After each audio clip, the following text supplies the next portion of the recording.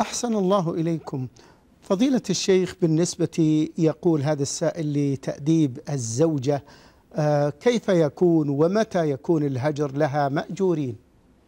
الله جل وعلا بين هذا في قوله تعالى واللاتي تخافون نشوزهن فعظوهن واهجروهن في المضاجع واضربوهن فإن أطعنكم فلا تبغوا عليهن سبيلا إن الله كان عليا كبيرا.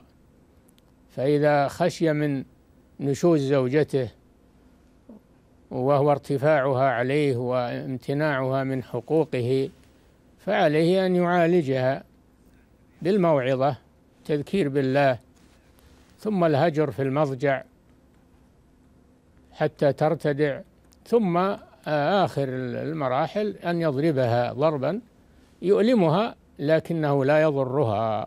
نعم.